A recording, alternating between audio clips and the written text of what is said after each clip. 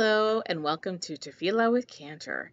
Today's recording will be the first line leader roles of Ein Kamocha and Vayehi Binsoa. You can find that in Sidur Hadash on page 312.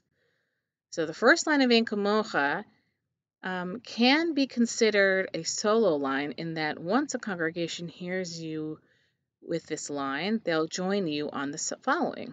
So it goes like this. Ein kamocha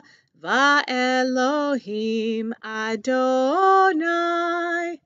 And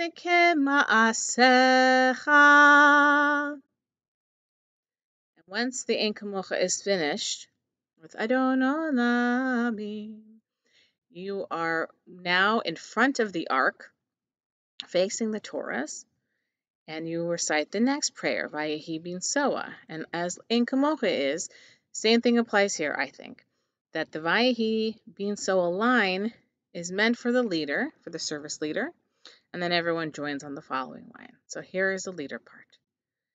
Vayehi binsoa ha'aron, Vayomer Moshe.